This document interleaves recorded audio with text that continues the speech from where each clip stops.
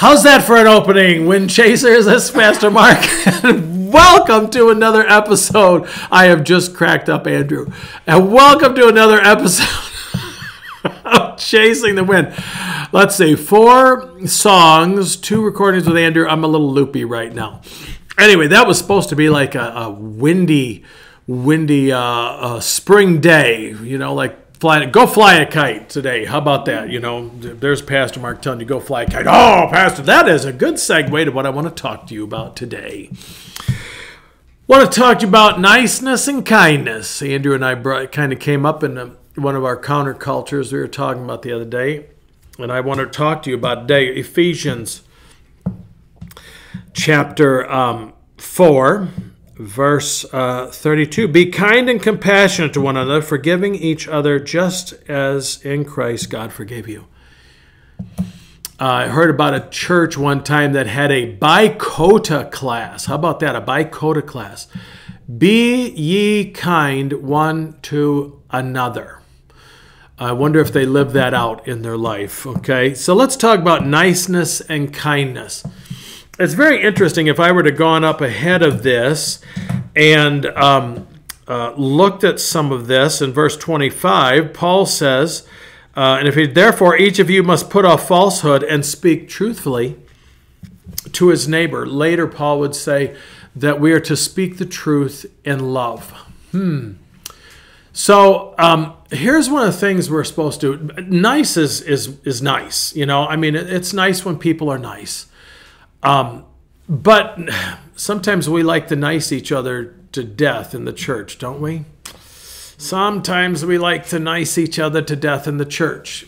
And that does not help anything. It usually doesn't help anything. Does this uh, does this shirt I'm wearing make me look fatter than what I am? Now you are going to put in the comments down there, no, Pastor Mark, you look so nice even though you might be lying through your teeth. That's why I don't wear uh, uh, uh horizontal stripes. I don't need any help with uh, things. Okay, I need to wear vertical stripes. So supposedly it makes you look thinner.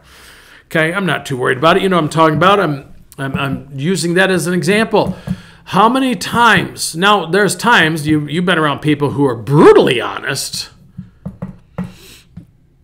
and that's always fun, you know, when you have someone who's brutally honest. You really going to wear that? You know, my wife and I, I was, I was, my wife and I were uh, somewhere shopping one time, and she was looking at purses, and and she grabbed this purse and she goes, "How does this one look?" I said, "It doesn't look that bad."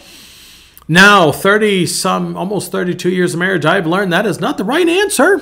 By the way, if you're a young person, young husband, young guy look, listening to me right now, do not say that when they ask you.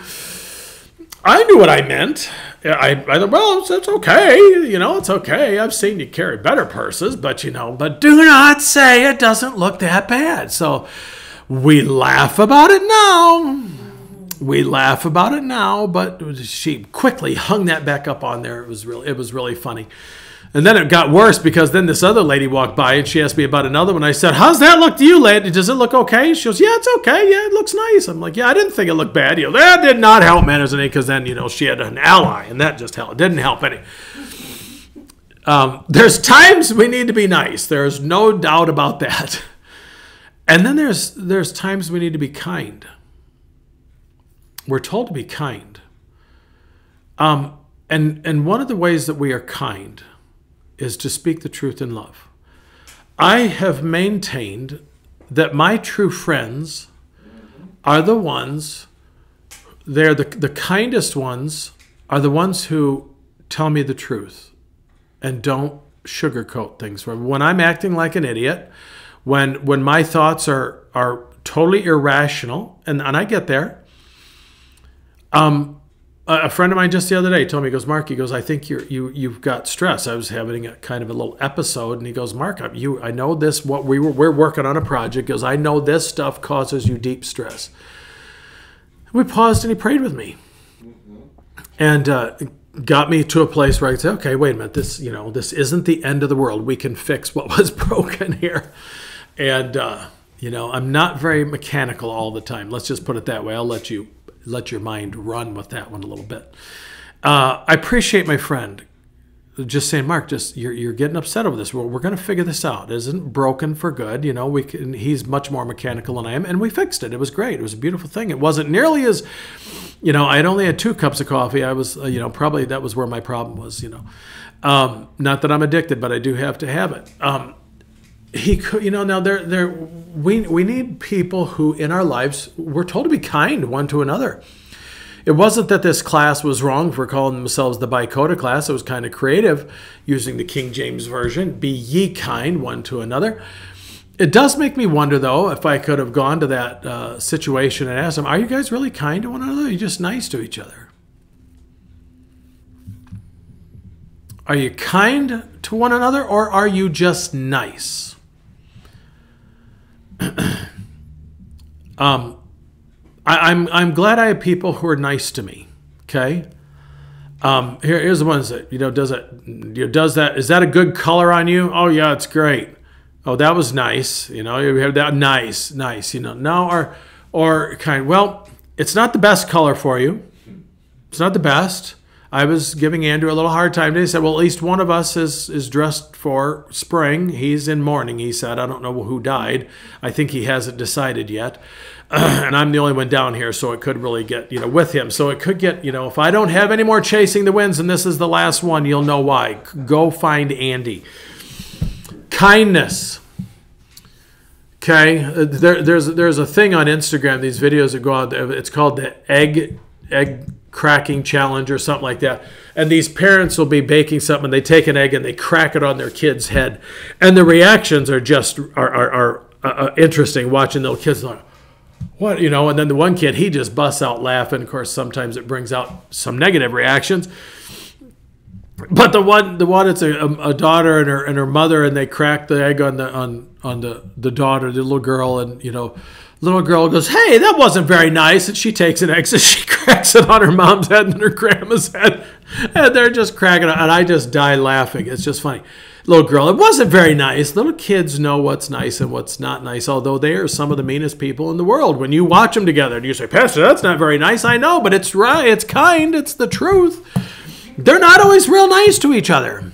It's funny. I always said that we always, you know, we, we say in the in the church, we said, "Now that wasn't nice. You go over and apologize." We tell kids do that all the time, but we as adults get nasty with each other in church, don't we? And we don't ever apologize. Wouldn't it be interesting if the kids said to us one time, You need to go apologize to Pastor for what you said to him about how bad his sermon was? Okay? I might have just brought some of you under conviction. Go to your pastor and tell him I didn't I didn't mean that, Pastor. Well, I'm just trying to be kind, Mark, and telling him that his sermon could have been better. Well, yeah, well, okay. You keep telling yourself that. Kindness says, nice says, well, don't make that child who's playing out in the middle of a busy street uh, during rush hour, four o'clock, five o'clock in the afternoon.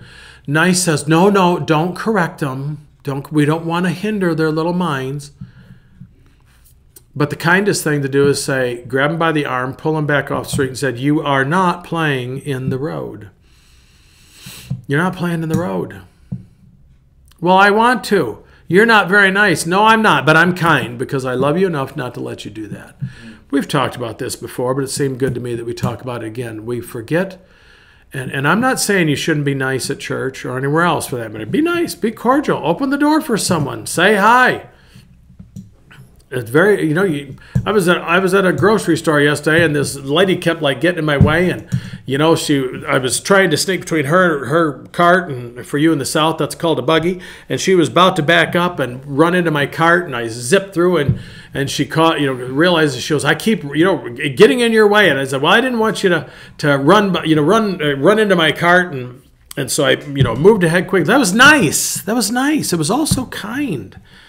I could have just said, well, let's, this could be good for YouTube and put on there to watch this lady crash into my buggy. But, but I didn't. Um, we nice each other to death too much. We don't speak the truth in love. And a lot of people say, well, I'm just speaking the truth. No, you're being mean because you're not doing it in love. You're doing it to be right.